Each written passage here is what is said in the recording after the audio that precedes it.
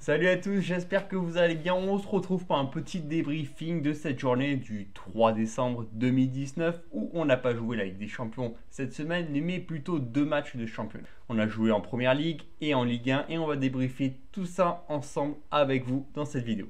Allez, c'est parti commence d'abord avec la première ligue avec la, pointe euh, positive. Donc le seul match que j'ai pu regarder c'était Burnley contre Manchester City. Euh, Burnley a pourtant mis l'ambiance, a mis la dynamique dès le départ et on a vraiment senti qu'ils essayaient de jouer sur le point faible de Manchester City qui est notamment la défense. Guardiola a enlevé de son effectif Stone et l'a remplacé par Otamendi pour l'associer avec Fernandinho. Il avait même annoncé dans une interview ce week-end qu'il préférait voir Fernandinho à ce poste-là personnellement, je ne le sens pas vraiment serein dans cette position-là. Je préfère le voir au milieu de terrain.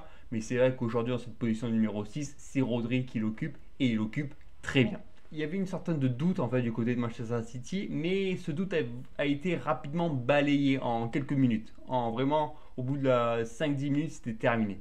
Et puis après, il y a eu forcément cette espèce de contre, euh, une passe très rapide, je crois, de Rodri vers Sterling. Sterling qui revient vers, euh, vers De Bruyne et De Bruyne qui lui fait une passe sur le côté à Reeves Jesus, pardon, qui donc sur son côté va caler une frappe parfaite enroulée qui va toucher le petit filet et marquer le premier but. Et je pense que ce but a été libérateur pour les Citizens qui vont ensuite dérouler le match petit à petit. On revoit en fait, on voit en fait les Citizens se renaître petit à petit, même si à la pause il n'y a eu que 1-0. En deuxième mi-temps, ils sont revenus. Il y a eu le doublé de, de Jesus sur une passe magnifique de Bernardo Silva. Le troisième but était absolument magnifique. Rodri tape une frappe à l'extérieur de la surface et ça va directement dans le, filet. Et enfin, le dernier but, c'est un but de Marès, tout en finesse, tout en douceur, tranquillement, à ras du sol, parfait, 4 à 0.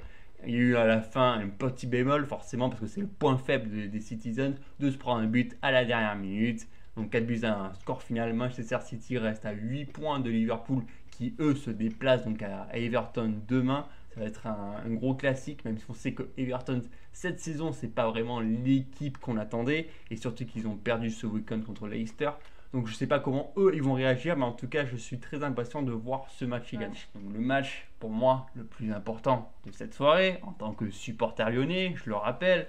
Et là, il n'y a rien qui va, il n'y a rien qui va j'avais quand même un petit espoir parce que les hommes de Garcia restaient sur deux victoires consécutives. On est allé chercher une victoire contre Nice où on jouait à 10 contre 11 pendant une heure.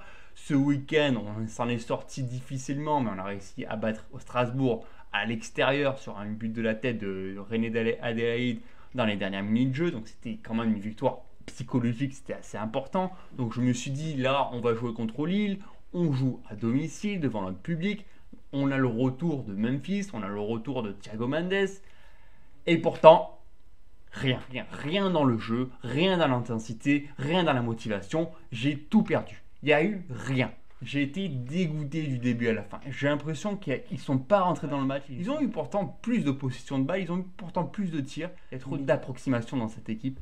Et c'est ça, ça ne me plaît pas. Il y a Cornet, il essaie de faire ses accélérations, mais il n'arrive jamais jusqu'au bout. Ça, c'est un truc qui m'énerve. Terrier, il a joué donc ailier gauche, il a été invisible. Même fils de paille qui donc s'est retrouvé en position 9 à la place de Dembélé. J'ai pas compris pourquoi est-ce que Dembélé et Memphis n'ont pas commencé la rencontre au début. Non, ça n'était pas possible. Je ne comprends pas ça. Derrière, t'as Touzard, il est toujours, je sais pas, il rate ses contrôles, il n'arrive pas à faire des bonnes choses. Thiago Mendes, même s'il est revenu, je trouve que des fois dans ses centres, il n'arrive pas à les, bien les centrer, ça fait n'importe quoi. Il y avait eu moyen pendant ce match de, jouer sur les côtés, de décaler droite, gauche, de faire jouer un petit peu les, transversales. Il y a, on eu, n'a pas eu ça. On n'a pas eu ça. J'ai l'impression qu'on revenait en défense. Il y avait Deneyer ou Marcelo qui faisaient de longues passes en avant. Ça allait jamais sur un joueur lyonnais. Et quand on avait une attaque lyonnaise, il y avait toujours un ou deux lyonnais. On n'était jamais en surnombre dans la surface de réparation. Grosse déception, vraiment, dans le jeu, dans la stratégie de Rudy Garcia. J'ai l'impression qu'il fait n'importe quoi. Et là, du coup, cette saison, Lyon a perdu contre Paris, Marseille, Saint-Etienne et aujourd'hui Lille. Voilà. Voilà. Tu ne peux pas espérer le top 5 si tu n'arrives pas à battre un de ces quatuors. C'est pas possible. Ce n'est pas possible. Voilà, pour moi, c'est une désillusion. On avait l'occasion au cours de ce match d'être quatrième, de se retrouver à deux points de la troisième place.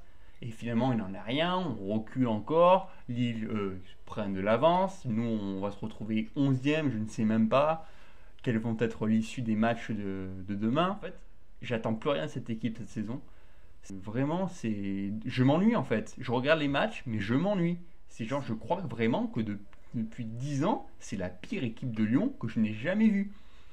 Et ça, c'est un problème de la direction, parce que Jean-Michel Aulas a essayé de changer la stratégie. C'est-à-dire qu'il a placé pas mal de millions d'euros sur des joueurs qui sont censés être des tops.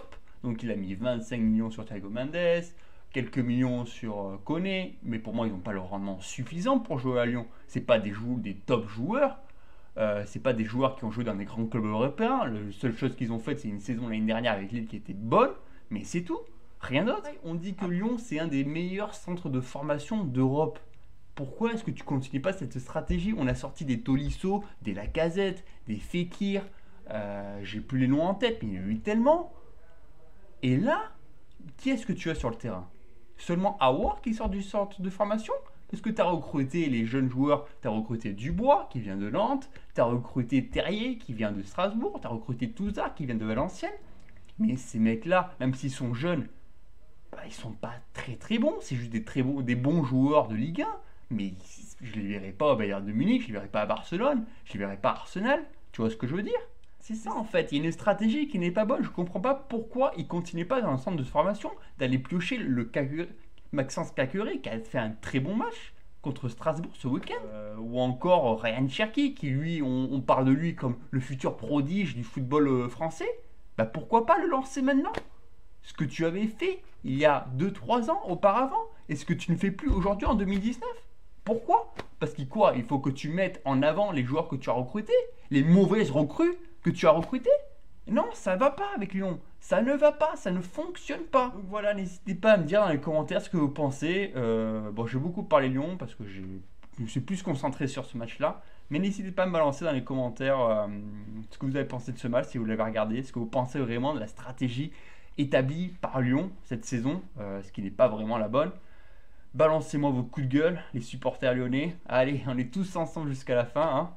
Après tout, on va essayer de croiser les doigts euh, mercredi prochain contre Leipzig. Après tout, on gagne, on est premier, on perd l'année dernière, donc ça va jouer à qui tout double en quelque sorte. Donc voilà, n'hésitez pas à vous abonner, à liker cette vidéo, à la partager si vous en avez envie. Et moi je vous retrouverai très bientôt pour un prochain débriefing. Salut